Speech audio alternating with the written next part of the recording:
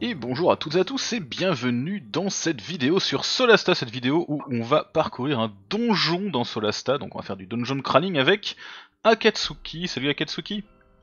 Salut tout le monde.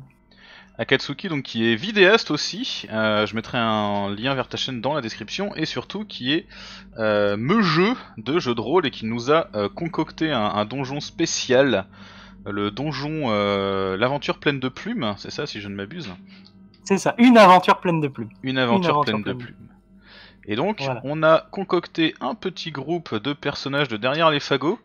On va donc avoir Pispoussamine, euh, Papillote Prester, Poslovitch Œil Vif et Malvin Blackwood qui vont eh ben, euh, tâcher de- d'arriver jusqu'au bout de, de ce donjon. Donc vas-y si tu veux euh, expliquer un petit peu comment tu l'as fait et, et commencer les petits textes d'ambiance. euh, Je sais que tu as rédigé des trucs. Alors, ouais, j'ai rédigé des petits textes un peu partout. Euh, alors, euh, donc il y a un créateur de donjon directement inscrit dans, Solasta. J'avais fait un petit live dessus euh, et une petite présentation sur ma chaîne. Euh, donc en fait, en gros, on met des pièces les unes d'un côté des autres qui sont vides. Euh, pour la plupart, on les a soit en vide, soit remplies, mais moi je les ai mises en vide.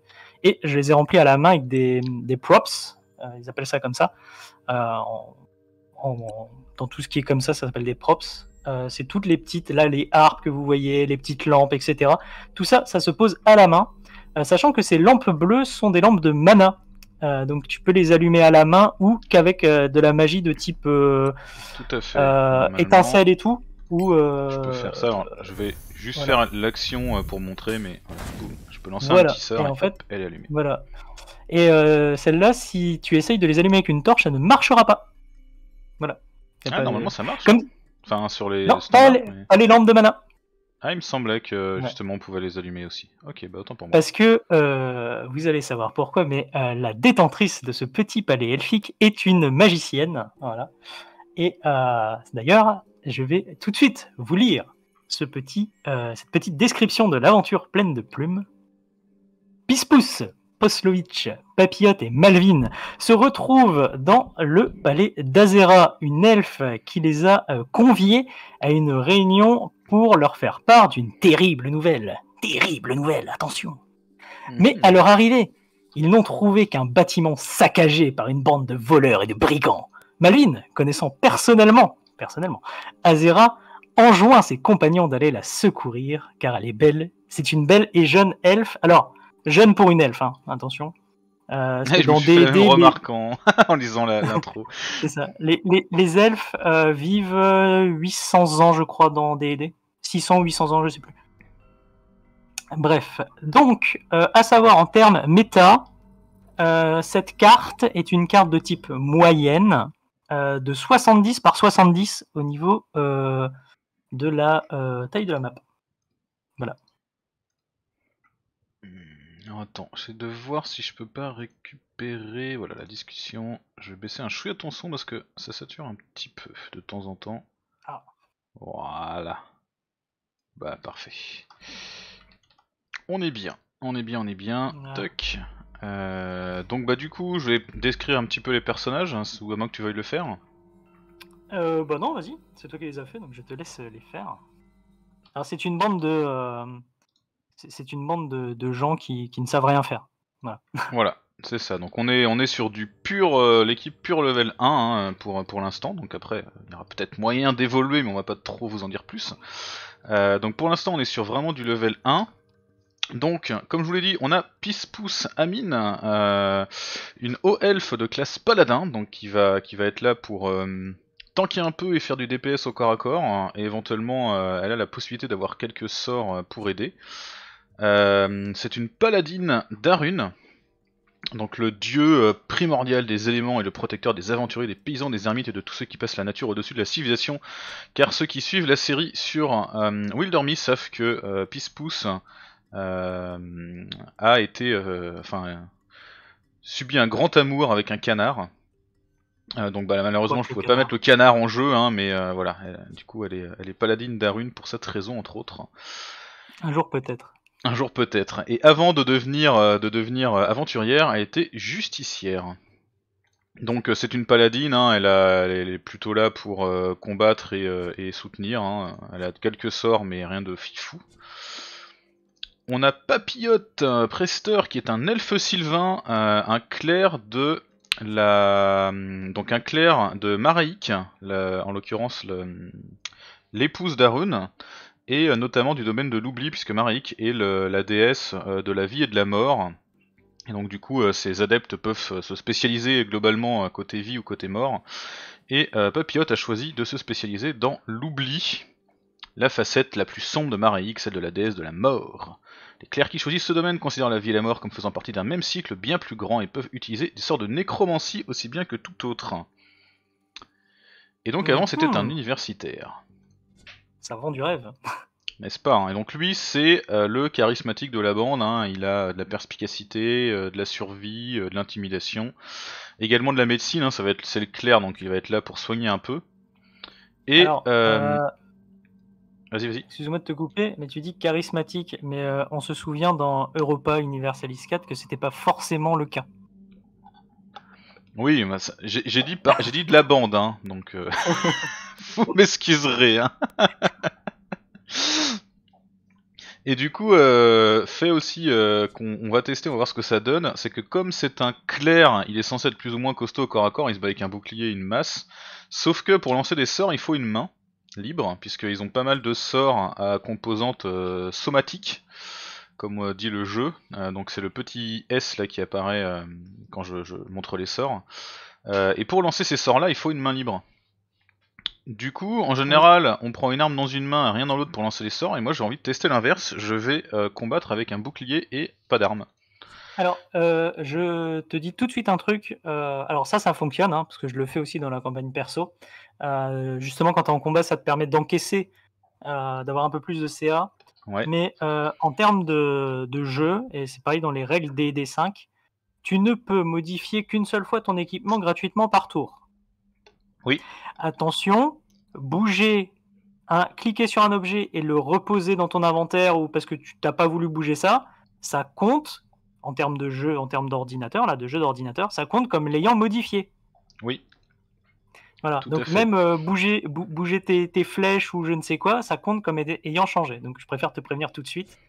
Ah mais tu Euh, vois là il est il est euh, il a il est main nue, enfin il a sa main droite Ouais, libre. Si, euh, si, quand tu plus de sort, tu veux remettre la masse, oublie pas que tu dois vraiment bien glisser, déposer la masse dans la main parce que sinon tu auras cliqué dessus.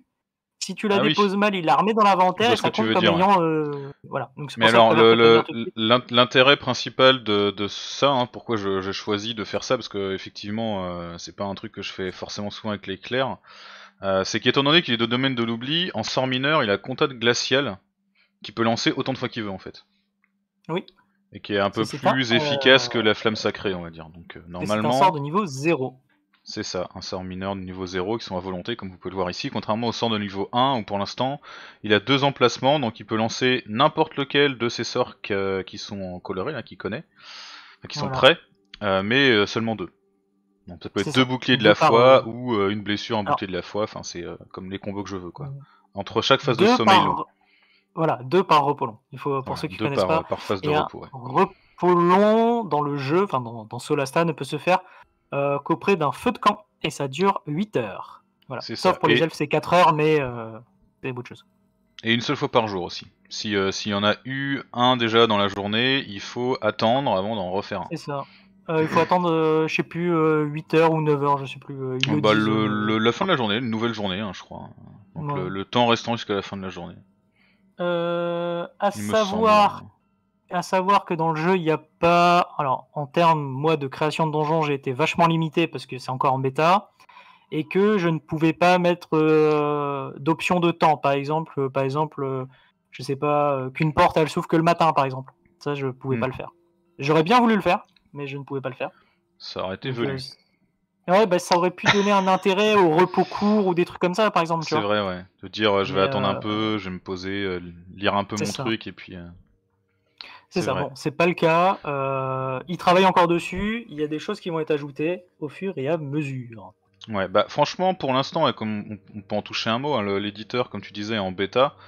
Euh, notamment, on peut pas mettre de PNJ, c'est que des espaces intérieurs, etc. Mais ils ont, euh, ils ont fait des, des vidéos sur ce qu'ils prévoyaient d'ajouter dans les mois qui viennent, euh, et au vu de ce qui est déjà existant dans la campagne, euh, dans la campagne officielle de Solasta, euh, il y a moyen que ça devienne vraiment, enfin c'est déjà très très bon, et il y a moyen que ça devienne carrément excellent, et que le jeu du coup ait une Oui. durée de vie euh, Illimité. carrément illimitée. Ouais. Ouais, parce que là, c'est très très intéressant. Moi, je me suis amusé à faire, à faire ça. Euh, donc, Puis voilà. les, les décors sont, sont franchement, enfin, c'est hyper Ouais, ils sont hyper assez qualitatif. hein. On rappelle, euh, alors pour ceux qui ne le savent pas, c'est une équipe française euh, de 17 personnes qui ont développé le jeu. Il n'était que 17. Et le fondateur de Tactical Adventures est un cofondateur, l'ancien cofondateur, un ancien cofondateur de Amplitude Studio. Ah, je savais pas ça. Bah comme Ah, quoi, euh, ils égrènent, ils égrènent du bon aussi. Oui, oui, c'est une bonne équipe. hein. Ils ont, ils ont l'habitude, ce sont des vétérans. Alors, on, va passer à Poslovitch Œil Vif. Donc, Poslovitch Œil Vif, lui, c'est un humain roublard. Euh, il va se battre, pour le coup, avec une épée courte et une dague, donc euh, deux armes. Euh, bah, rien de particulier, hein. il était philosophe avant de, devenir roublard, parce que ça me faisait marrer, venant de Poslovitch. Donc le roublard hein, dans, Solasta c'est le voleur en gros, donc c'est la classe qui va détecter les pièges, euh, essayer d'ouvrir les, coffres ce genre de choses, et désamorcer les pièges bien sûr une fois qu'ils les détectés. Il est également assez bon en acrobatie pour tenter de joindre les, les coffres éventuellement un peu euh, inaccessibles. Après euh, ça reste ça reste un Alors, roublard, donc il va pas forcément faire des bonds de le- 30 mètres quoi. C'est ça. Alors pour le moment, je pouvais pas mettre aussi, euh, comme quoi tu, tu es fort dans, dans l'entertainment, tu, tu me, tu me lances sur un nouveau sujet. Euh, je n'ai pas pu mettre de, je ne pouvais pas mettre de trous comme dans la campagne, Ah, et je ne pouvais pas non plus mettre euh, de hauteur. Ok, donc oui, donc c'est quasiment voilà. c'est linéaire quoi. C'est ça. Je... Alors c'est pas possible pour le moment. Alors il y a quelques hauteurs du genre, euh, par exemple, tu vas peut-être pouvoir monter sur des caisses ou des trucs comme ça. Mais Mm. euh, c'est pas prévu, par exemple, pour monter à une échelle et euh, pas pouvoir être attaqué au corps à corps, tu vois. Ça, je pouvais pas le faire. Oui, parce que c'est vrai que dans la, dans la campagne, il y a des zones où tu as des euh, piliers, où tu dois sauter de pilier en pilier, etc. C'est ça, mais là, je ne pouvais pas le faire, donc. euh, Ok, Voilà. bah pas de souci. Mais c'est, j'aurais bien voulu. C'était, euh, c'était prévu dans ma tête quand j'ai dit ah tiens, je vais faire un donjon, je vais faire plein de conneries, et euh, bah non, j'ai été trop limité. Mais bon, d'ailleurs, euh, euh, c'est comme. On, on l'a pas dit, mais c'est vrai que tu as commencé en tout cas le donjon en live euh, avec euh, des viewers de la chaîne. Donc s'ils sont passés et qu'ils regardent cette vidéo, ils se reconnaîtront. Si tu veux les citer à un moment en disant cette idée-là vient de telle personne, telle personne pour, euh, pas, faire du name bashing, au- il y a pas de souci. Ils sont, ci- ils sont cités à un endroit très particulier. D'accord, et bah écoute, du coup, je, je remercie hein, les, les viewers qui se sont prêtés au jeu. D'ailleurs, euh, je l'ai pas dit, mais je te remercie aussi toi d'avoir euh, pris du temps pour faire ce donjon. Ah, mais de rien, moi ça me fait marrer, euh, donc. Bah, le, le, le- le- je crois que le mojo de la soirée était euh, faut faire souffrir le signe, donc euh, bah, on, va, C'est ça. on va voir un peu peu ce que ça ça. va donner. Alors moi j'ai testé le donjon en bêta, euh, j'ai fait une bêta du donjon avec les persos que tu m'as filés, euh, Mm. parce qu'on peut filer ces persos entre, entre les gens, et c'est pas facile. Voilà, donc j'ai quand même, je t'ai quand même rajouté des trucs, notamment des consommables pour éviter que tu aies à faire beaucoup de repos. Voilà. Au niveau Oui, parce que c'est vrai qu'il y, a, il y a une phase de. On peut se gagner des points de vie en se reposant. Et également la possibilité de fabriquer des objets. Alors, je sais pas si je trouverai beaucoup d'ingrédients en l'occurrence dans le donjon, mais il y a la possibilité de fabriquer des objets, ça prend un certain temps. Euh, Voilà. Donc Donc, euh, là, par exemple, 8 sorte- heures pour une potion de soin. C'est ça. Alors j'ai fait en sorte que ce soit euh, que ce soit euh, voilà assez dynamique. Donc à un moment tu vas tu, tu vas tomber régulièrement sur des potions etc. Ce que normalement je ferais pas en temps normal, mais euh, voilà c'est parce que sinon euh, tu vas passer ta vie à dormir. Quoi. Ouais, bah ouais, ouais, que- si on peut, ça peut euh, être un peu euh. dynamique, c'est pas plus mal quoi. C'est ça. J'ai essayé de faire en sorte que. Euh, Il y a mon Poslovitch là qui est gardien du portail, je vois pas absolument d'où ça vient. Euh, je Comme ne euh, sais pas. bonus. Avantage vous êtes sauvegarde contre la mort. Je crois pas lui avoir mis un truc particulier là-dessus. Euh, c'est peut-être dans son historique, il faudrait Mais voir. ouais, mais, c'est euh, ce que j'étais en train de regarder, mais je j'avais pas. Ça me dit rien, en tout cas. Ouais, on verra après si ça si ça apparaît, si ça joue ou pas. Alors, à savoir, tu disais que c'était le, le roublard qui pouvait euh, désamorcer les pièges et ouvrir les portes. En fait, dans D&D 5, il vous faut juste la maîtrise des outils de voleur. C'est vrai. C'est un objet. Et donc, tout le monde peut techniquement le faire. Même un mage, si vous lui donnez la maîtrise des outils de voleur, il peut le faire. Sachant que c'est pas prévu à la base dans la classe de mage, par exemple. Mais euh, je sais pas comment ils ont fait ça dans le jeu. Je pense pas que ce soit implémenté. Mais dans le jeu de rôle, en tout cas papier, vous pouvez euh, demander au MJ d'apprendre des choses, d'apprendre des maîtrises, si vous avez un bon RP pour ça. Bah là, dans le jeu de base, euh, normalement, si je prends les outils de voleur qui sont dans l'inventaire de Poslovitch et que je les file à n'importe qui d'autre, même sans la maîtrise, euh, ils peuvent faire un jet euh, de dextérité pour essayer de déverrouiller un truc avec aucun bonus. Ouais. Ils ont, Mais, euh, juste il y a juste- leur bonus associé. Voilà, même si là c'est marqué, Pispousse ne maîtrise pas cet objet, ne peut pas s'en équiper, je peux quand même essayer de déverrouiller un coffre avec, euh, avec elle. quoi. Alors le jet va être ça. pourri, il faut un, un- un coup de chance, mais c'est possible. Donc si jamais on rate avec Poslovitch, euh, Ouais, on a quand même moyen peut-être de- d'essayer avec un autre, si le jet est pas trop compliqué. quoi. Si c'est sur un Alors- 20 ou un 15, c'est mort. mais Sachant que euh, les bonus de maîtrise dans Donjons et Dragons 5, euh, au niveau 1, 2, c'est plus 2. En fait, ça Mm. dépend du niveau plus 2, plus 3, plus 4, ça plus apparaît 5. là. là, ouais. Mais ça dépend du niveau. Ah, ben ils, l'ont mis- ils ont mis les niveaux. 5, euh, 9, Ouais, 13, 17. 9, 13 et Voilà. 17. Et on ne peut pas dépasser le niveau 20, enfin, en théorie. Et euh, vos caracs, force, dex, constitution et tout ne peuvent pas dépasser 20, sauf objet magique. Mm. Et euh, magie associée, euh, force du taureau, des trucs comme ça. Alors, on va passer à Malvin Blackwood. Malvin qui sera donc notre demi-elfe magicien. Donc, que dire sur Malvin? C'est un mage qui était aristocrate avant. Donc, ça va être le, le lanceur de sorts de l'équipe. Bien sûr, il est plus fragile que les autres, hein. mais euh, normalement, il peut apporter un, un petit peu de DPS ou de buff euh, assez bienvenu. Donc, on verra ça. Euh, Énormément de DPS. Et les cru- des bursts de dégâts. j'ai cru comprendre hein, pendant ton test qu'il avait la fâcheuse tendance à foirer ses jets critiques, donc ça ne changera pas de Malvin. Alors, non, c'est c'est pas ça. Disons que Malvin a une fâcheuse tendance à laisser les gens mourir. voilà. Et que quand il, a, quand il a besoin de sauver quelqu'un, il préfère le laisser mourir. Peu en a fait les frais plusieurs fois. Donc euh, ça fonctionnera à peu près similairement à, à Papillote, hein, c'est-à-dire qu'il a des sorts mineurs qu'il peut lancer à volonté, qui sont bien sûr euh, pas ultra badass, mais quand même euh, qui sont bien utiles. Et euh, il a quelques sorts euh, que lui pour le coup il va devoir apprendre. Vous voyez qu'il n'y a pas de, enfin il y a un seul sort grisé, mais j'ai j'ai pas une, toute une grosse collection de sorts pour l'instant. Euh, et il pourra en lancer deux. Euh, là par exemple au niveau 1, ça va augmenter après euh, petit à petit. Alors, tu dis que c'est pas top, leur sort. Tu prends trait de feu, c'est quand même un des 10. hein.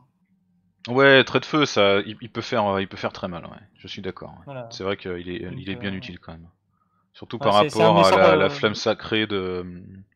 Bah, la flamme sacrée, ce qui est embêtant, c'est que tu as un jet de sauvegarde contre elle et que si tu réussis ton jet de sauvegarde, tu prends zéro. Ouais. Quoi. Ouais, ouais, ça annule complètement les dégâts et en plus c'est de la dextérité donc euh, souvent il est réussi quand même. La c'est plupart des créatures ont, des, ont une bonne dextérité.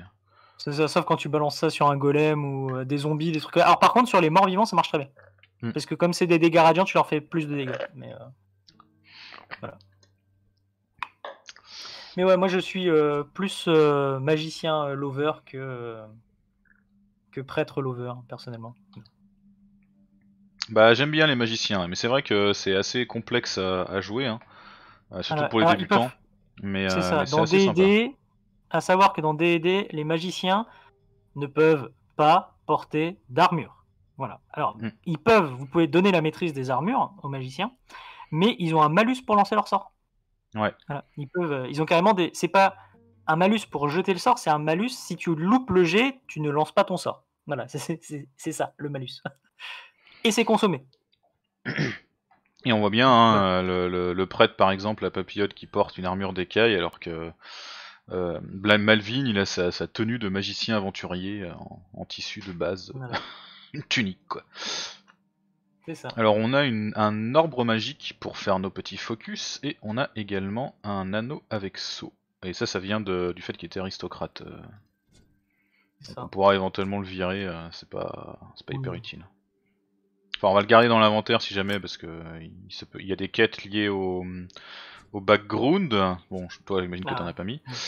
Ouais, Mais je peux pas euh, donner de tête, donc. euh, ouais, voilà, euh, pour l'instant non, mais ça peut être intéressant de le garder, donc on va pas le jeter. Mais si on jamais on trouve des objets magiques meilleurs, bien sûr, on le remplacera. voilà, J'ai pas encore pu mettre de système de quête. Euh, ça devrait arriver, mais euh, pour le moment, c'est pas encore disponible. Ce sera quand même super classe. Voilà. voilà Bon, bah c'était une belle intro. C'est ça, un peu On va commencer un petit peu avant de avant d'arrêter l'épisode quand même. Donc euh, on commence dans cette salle. Donc euh, on a pu voir la lumière ici. On voit qu'il y en a visiblement une autre derrière là. Il y a une porte et alors ça se met pas en surbrillance, mais j'ai l'impression que je peux examiner la bibliothèque quand même. Je sais pas pourquoi elle se met pas en surbrillance. Euh, oui, oui, tu as un truc à examiner dans la bibliothèque. Ah puis il y a direct du piège. Alors on va passer en prudence parce que je sens que ça sent l'arnaque. Des pièges Non. Trois pièges là. Alors, un livre sur l'histoire d'un équipage de pirates suite à un combat, ils ont perdu leur gabier, Guédup et Hécatup, leurs pêcheurs, les pauvres, ça a dû être terrible. Hein Alors oui, t'as- mis des easter eggs partout, hein, euh, tu disais. Oui. Donc euh, là, magnifique easter egg sur euh, A Pirate Quartermaster. C'est ça. Non, qu'est-ce que tu fais? Je ne veux pas, je voulais te sectionner. Voilà. Voilà, c'est parce qu'en fait, c'était. euh, c'est le premier perso, ce qu'ils appellent le perso principal, qui va, euh, appli- qui va appuyer sur les, les objets pour les allumer, Les etc. objets, ouais, c'est ça. Ouais, c'est des, des fois faut faire. Je sais pas si gérerait le fait de pas aller dans le piège dans ce cas particulier là. Euh, alors, il... alors, moi j'ai vu qu'ils avaient tendance à éviter les pièges, mais de temps en temps ils vont quand même dedans. voilà. On va les désamorcer tout très de longs, suite. quand t'as des très Enfin, longs chemins, essayer. ils ont tendance à aller dedans. Oh, C'est un, bravo. c'est un 2. bien le premier jet de la partie.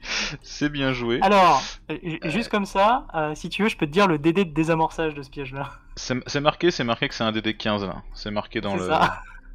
Le deuxième a réussi. Et comme par hasard, c'est sur en plein en face de la porte qu'il a raté. Donc on va pas pouvoir le Oh, refaire. pas de chance Et le deuxième aussi. Putain, 14 quoi. Bravo. Nickel. Parfait, on Quel est bien. talent. Alors pour info, c'est un DD15, on lance un D20 plus 8. Donc normalement, Voilà. on a quand même quelques chances d'arriver à faire 15, mais bon. Alors, la plupart des monstres ont une CA inférieure à 15. La plupart de tes persos ont plus 6 pour toucher. Ouais. Donc le... comment fonctionnent les combats? On peut en parler rapidement dans, dans, dans DD. Chaque personnage a une CA, une classe d'armure, qui dépend de son armure, de divers bonus, ici par exemple le bouclier et la dextérité. Et euh, pour être touché, il faut que l'attaquant lance un des 20, ajoute ses bonus, de, dans le général liés aux armes, et arrive à faire plus que 18. Ensuite, on fait les calculs de euh, dégâts, etc. Là, par exemple, si on prend Pispousse qui a une hache d'arme, elle a plus 5 de, hum, de jet d'attaque, d'attaque. 3 pour sa force et 2 pour son bonus de maîtrise. Ce qui fait que pour toucher quelqu'un, elle va lancer un D20, ajouter 5 et elle devra faire plus que la CA. Donc si Par les exemple, monstres un- ont une CA inférieure à 15, euh, ça veut dire qu'il faut qu'elle fasse au moins un 10. C'est ça. Alors, euh, par exemple, un bandit, je le sais parce que euh, j'en ai mis et j'en ai mis un et je. C'était pas mal pour faire des bêta tests. Ah, il est très très bien ce, ce mob pour faire des bêta tests, j'aime bien. Il a une CA de 11. Donc, par exemple, un bandit, tu le touches sur un 6 naturel. Ouais, donc euh, ça va. Et du coup, j'ai trouvé, en fait, c'est euh, Papillote, j'avais oublié ce détail, qui, qui a de base le gardien du portail en tant que clerc de l'oubli. Et du coup, il le met. Mais ça me surprenait parce que justement, il ne l'avait pas lui, donc c'est pour ça que j'étais un peu bizarre, mais ça devait être un bug parce que j'ai mis en pause dès le chargement de la partie, je pense. Peut-être. ouais. Il y a quelques Là, tu vois, ils l'ont tous maintenant. Là. Ils l'ont tous maintenant. Ça me paraît plus logique. Bah, du coup, cette porte, euh, on l'a dans le fion, j'ai envie de dire. Enfin, on Ah, peut essayer con, de déclencher le piège si on veut, hein, après, mais euh, on va éviter. Alors après, euh, on va lire le petit texte. Statue représentant Demoiselle Sabine, une femme qui a eu un passé trouble mais qui a donné de l'amour au peuple. Mauvaise tireuse certes, mais ça dépend avec quel fusil. Demoiselle Sabine, la fameuse. Voilà, c'est ça. Et si tu sais, tu... bien évidemment, tout le monde a compris pourquoi je parle de ça dépend de quel fusil quand on a son passif. C'est vrai, c'est vrai que. mais c'était sa maman qui était, euh, qui était prostituée. hein. Ah, elle, s'est vendue aussi, hein, d'après l'histoire. C'est vrai d'après l'histoire, ouais. Qui était euh, une, euh, une fille de prostituée dans Pirate Quartermaster, euh, qui est un personnage qu'on joue, du coup, un des backgrounds donc, de, de Pirate Quartermaster. Euh, alors, pourquoi elle est représentée dans ce donjon?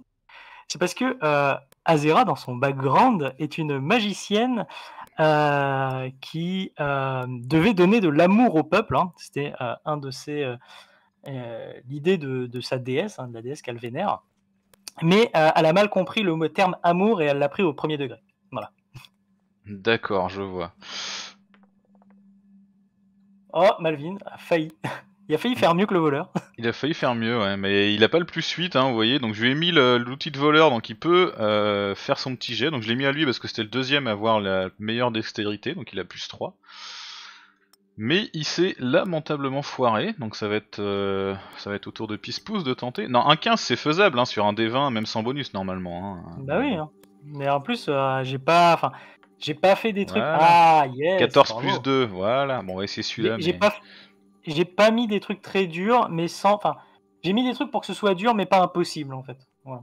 Ouais, bah le, euh, le DD15 sur un piège dès le début, c'est un peu velu, mais ça se fait quoi. C'est- ça. Après, comme je voyais que t'avais plus euh, des plus 6 ou des plus 8, tu dis bon, c'est bon quoi. Normalement, ça passe. On pourrait éventuellement aller par là, mais euh, j'ai tendance à ouvrir les portes qu'une fois que j'ai fait les chemins sans porte, donc euh, je vais continuer. Voilà. Alors il y a une notion d'éclairage dans le jeu. Euh, on peut voir là dans la- que nos personnages sont dans la lumière faible par exemple. Ça donne des bonus ça. ou des malus pour. euh, alors a- ça donne déjà des bonus ou des malus selon certains ennemis, c'est des morts vivants, ils aiment pas dans la lumière, etc. Mais surtout ça donne des bonus et des malus de toucher si on essaie de tirer ou de taper sur quelqu'un qui est pas visible. Après, mis à part Poslovitch, euh, tous nos personnages ont une ascendance elfe, donc ont vision dans le noir, ce qui leur donne. euh, ce qui est un peu Un plus bon avantageux bonus. pour eux. C'est ça. Alors il y a un Alors, piège en plein milieu. très facilement évitable. Oui voilà, c'est celui-là, si jamais on le rate, on peut toujours faire le tour. Ouais, Mais il a fait un celui- 19, parce que pourquoi pas? Ouais. Pourquoi faire des 19 sur des pièges qui ne sont pas nécessaires après tout? C'est ça.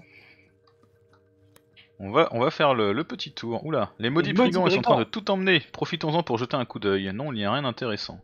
Ah, c'est un truc que Voilà. tu as que tu as mis ça ou c'est parce qu'elle s'est rapprochée de caisse et elle l'a fait Non, c'est moi qui l'ai mis. C'est toi qui l'as mis. Ok, sympa. J'ai mis Ouais, une, peux- ce qu'ils appellent une zone de texte, une zone de savoir. Quand tu rentres dans ces zones, tu as euh, des textes qui se déclenchent automatiquement. Ah, c'est franchement cool. Hein. Je sais pas pourquoi je sens comme un potentiel piège sur ce truc. Non, rien. Ah, il y a des ennemis là. Alors, on voit ici 4 ennemis. On voit qu'il y a un bandit, donc ça c'est un personnage qu'on connaît. Par contre, les trois autres sont des créatures inconnues, on sait pas euh, ce qu'ils sont. Il y a un bestiaire dans le jeu, alors j'ai mis pause, on peut aller voir.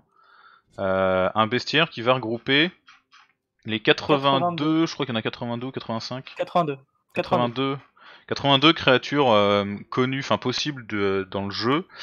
Et à chaque fois que vous allez les combattre, vous allez en apprendre un peu plus sur elles si vous arrivez à faire des jets de survie à la fin du combat. Vous voyez ici savoir ça. 0 sur 4. Et plus vous en savez sur une créature, plus vous connaissez ses faiblesses, ses forces, les attaques qu'elle peut faire, etc. Alors, ce qui est marrant, c'est que tu vois le bandit. Enfin, Bah, tu, sais que c'est un bandit, mais tu ne connais pas cette créature. Bah c'est ça, alors que tu vois pourtant il la connaît, hein. Il je sais qu'il a une CA 12, PV 11, que c'est un défi intermédiaire et tout, donc euh, normalement euh, c'est- Bah, je devrais ouais. le connaître. Mais après c'est peut-être quelqu'un qui est connu de base. Hein. Je sais pas. Après, quand ils disent défi intermédiaire, c'est en 1 contre 1. Ouais. Voilà. Là, t'es quand même à 4. Ils sont 4 aussi. Hein. Et bon, on voit que lui a l'air d'avoir un vague gourdin. Eux, ils ont des masses quand même un peu plus, euh, un peu plus avancées. Et elle, surtout, a une arbalète. Donc là, du coup, euh, comme on était en, en prudence, on est plus furtif. Ils nous ont pas vus. Ce qui va nous donner euh, l'initiative. T'es toujours furtif. Et je suis toujours Le furtif. combat n'est pas... voilà, le combat n'est pas encore lancé. Et si tu leur tires dessus, mais avec n'importe quel perso, et que tu arrives à ton, ton jet de discrétion par rapport à eux, leur jet de détection, eh bien tu restes furtif. Et c'est d'ailleurs pour ça que t'as un avantage. Et ça, c'est pour ça que c'est vachement cool. ouais. Donc là, pour l'instant, on voit, hein, si je le cible, ça me met avantage d'avantage Poslovich et furtif, donc je vais le faire. On va attaquer euh, même euh, elle directement. Donc pour l'instant, ça fait rien parce qu'on est en pause, mais dès que j'enlève la pause, boum, le combat commence. On voit qu'il y en avait un autre planqué derrière. Alors, ils ont fait des très Ouf. bons jeux d'initiative, mais ça va.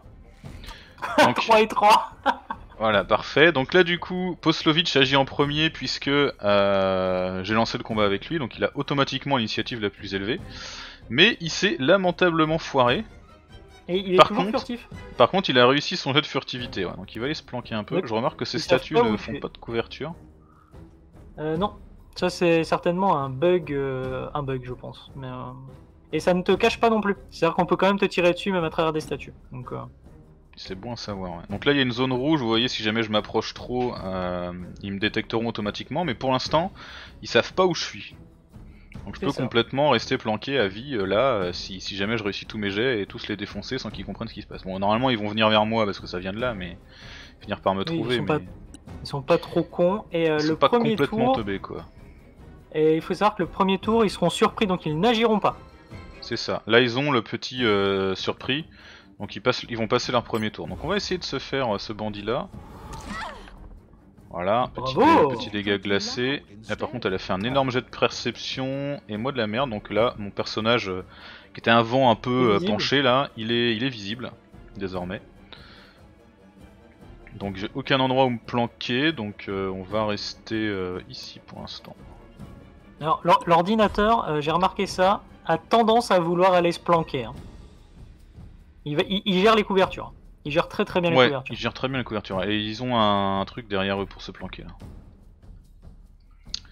Euh, D'ailleurs, ils vont y alors, Dans, dans tous les fights que j'ai fait, ils y sont allés.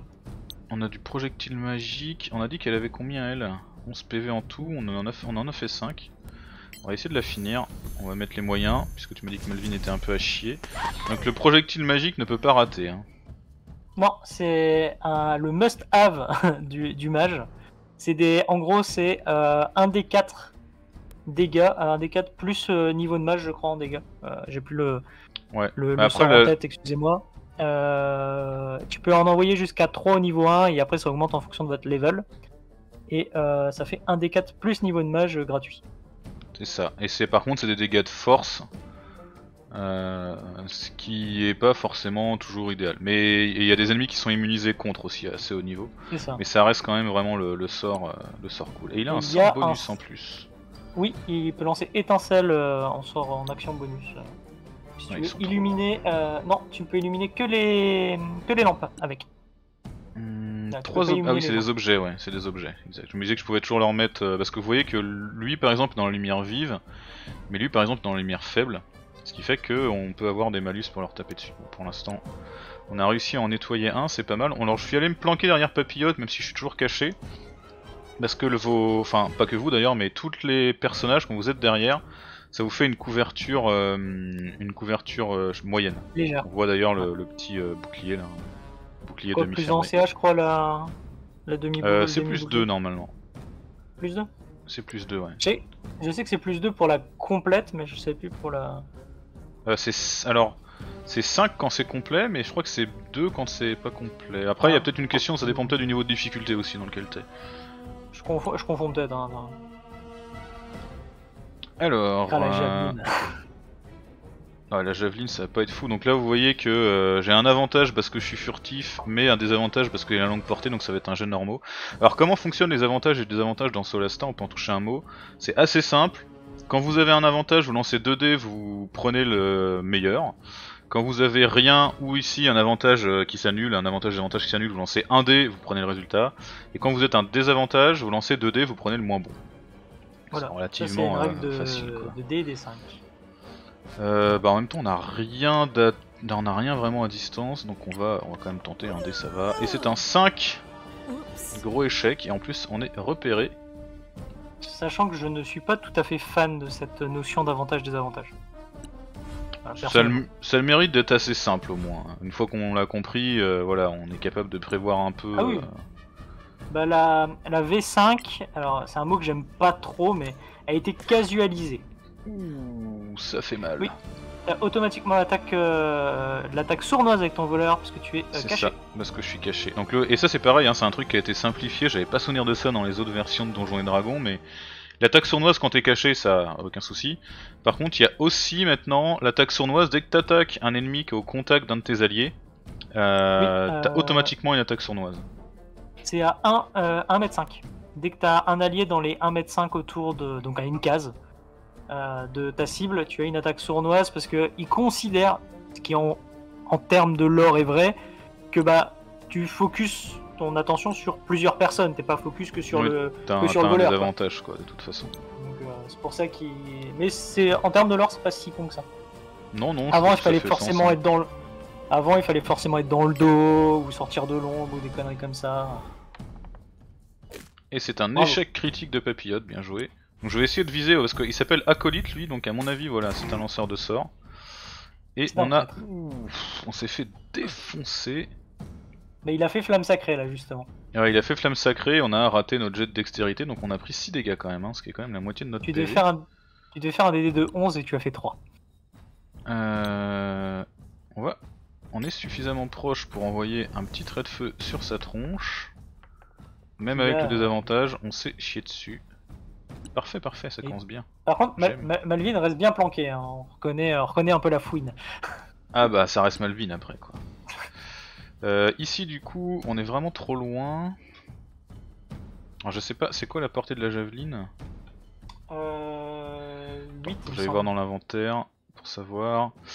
Euh, 24 cases, bah c'est pas mal 24 cases pourtant. Ah non pour tes 6 courtes, pour être pardon. ouais. en portée courte. Ouais, non, ils- Ou autant 6 pour pas avoir le désavantage. Si vous passez en portée longue, vous avez le désavantage. 4, 5, 6, ouais, faut que j'avance beaucoup quand même. Beaucoup et seul. Et après, il y a les deux autres qui vont jouer. Donc, ce qu'on va faire, c'est qu'on va passer en corps à corps et on va préparer notre attaque. Alors, fais attention aux malfrats. Ils ont tendance à avoir des avantages quand ils sont l'un à côté de l'autre. Ah, et bah écoute, on va la prendre. Voilà. Là, tu vas la prendre, regarde. Et il attaque quand pas. Il pourra te voilà, quand il pourra te taper dessus, attention à toi. J'aime bien ce, ce petit mec euh, un peu. euh, pas piqué des hannetons. Mais il a pas d'armure. Il a, il a très très peu de CA donc. euh, Il a pas mal de vie par contre, hein, visiblement. Ouais. Oui, mais il a pas de CA donc. euh, Bam Ils Le ont petit coup de dague. 11 de CA, je crois, les malfrats. Je vais dire ça tout de suite. Alors, le malfrat. Si tu veux les stats du malfrat, je peux te les dire. Non, bah on va les apprendre, t'en fais pas. Donc là, je soignerais 1 des 8 plus bonus de carac. Ça aurait presque le coup, parce que si l'autre il me réaligne un truc pareil, ça va piquer du fion quoi. Euh, ça, dégâts nécrotiques, ça draine pas de vie, hein. Non. Euh, non. C'est un CR 05. Ah oui, ça c'est une attaque à distance. Mais oui, c'est ça le problème, c'est que ça c'est une attaque à distance, donc proche c'est tout naze. Ça Oui. par contre, c'est pas à distance. Mais je pense qu'il va réussir de dextérité. Même pas. Maintenant, ils ont plus 0. Et on va utiliser un petit mot de guérison en action bonus. Voilà, 6 PV, parfait, c'est pile poil ce qu'on avait perdu. Bon, par Euh, ils en ont les- deux ou trois hein, des sorts de niveau. euh, Ils, ils vont pas le faire euh, 50 000 fois le... les acolytes normalement. Enfin, Bah, je t'as les ai vu jamais vus euh, spammer le sort. T'as vu là par exemple, on voit la cible est à moitié protégée parce qu'elle est protégée par mes. Enfin, Ah elle ouais, est bloquée par mes CA. propres mecs et c'est plus 2 de CA. Ah du ouais. coup, ce qu'on va faire, c'est qu'on va venir là. Et là, normalement, il Ça- n'y a plus de protection. À savoir que les, euh, Pouah. les mouvements sont euh, euh, séquençables. Voilà, c'est pas vous vous déplacez et vous avez fini votre phase. Non, vous pouvez vous déplacer, Tout à fait. vous arrêtez, vous redéplacez derrière. Vous pouvez même vous déplacer, attaquer, vous redéplacer. Et on a bien vu la- l'avantage là. Donc là vous voyez, hein, il a pris euh, les meilleurs dés, mais c'était heureusement des échecs. Ok. Tu pourrais pas faire un 18 quand tu mets tes deux attaques, sérieux quoi? Ah si, là, il a, il a, l'attaque sournoise se fait dès que tu touches. Dès que ouais, la première touche, ouais. Pourquoi j'ai attaqué avec mon point Faut que je me, faut que je m'habitue à l'équipe. Hein. Euh, c'est pas encore, euh, c'est pas encore trop ça. Il a déjà plus que 4 PV quoi. Allez, on va claquer ça. Plus 2 de CA, ça permettra de prendre un petit peu moins. Est-ce que sa foi va lui servir à quelque chose? C'est ça la question. Allez là, faut, faut faire un peu mal là. 4. Un petit coup de hache peut-être Voilà, pisse pouce, Voilà. c'est ça qu'on veut. Donc là il a plus son avantage. Et tu vois ça a servi hein. Ouais, ouais. Sinon il il, me, il a il me- la mettait là. Il était protégé par sa foi. Voilà, pile poil 11, ça fait plaisir. Là par contre c'est raté. Hop. Alors là par contre, je vais pas refaire la même.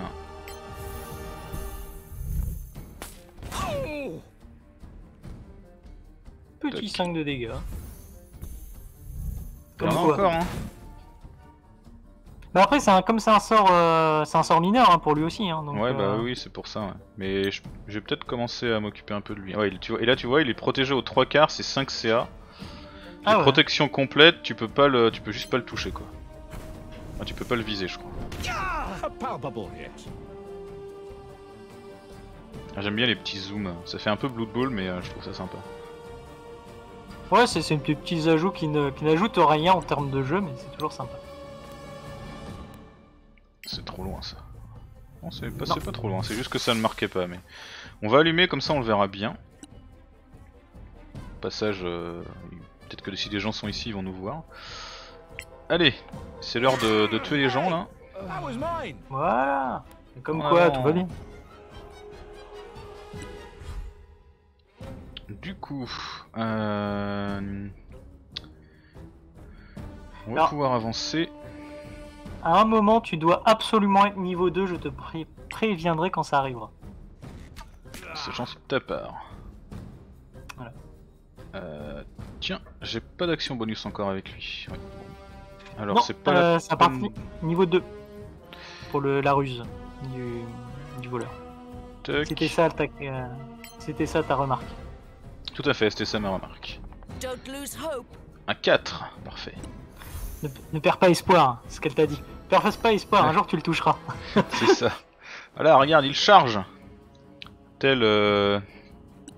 Alors, je ne sais pas, le fou qu'il est. C'est complètement con, hein. J'ai- en termes de gameplay, c'est complètement Bah, en même temps, euh, de son point de vue, euh, il y a plus trop d'espoir, quoi. Ça peut se... C'est ça, ça peut, ça peut se comprendre. Je pense qu'il a dû Voilà, ce que calculer que comme j'étais à l'arc, s'il venait à côté, ça me faisait un désavantage, sauf que j'avais bien sûr pas resté à l'arc, quoi. C'est ça. Donc là, vous euh, voyez, je fais mes petits jets de survie pour en apprendre plus sur les, sur les créatures. C'est ça. Voilà, Donc tu vois, il a maintenant- 10 de CA et 9 PV, et c'était complètement con d'aller au corps à corps, quoi.